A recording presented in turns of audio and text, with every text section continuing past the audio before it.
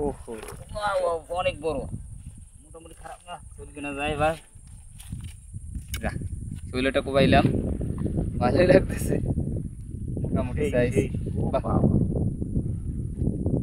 ভাবি নাই যে শৈলটা কোবাইতে পারবো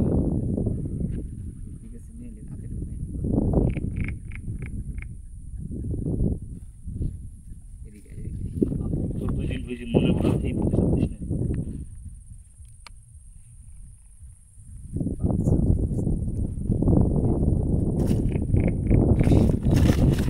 Gracias.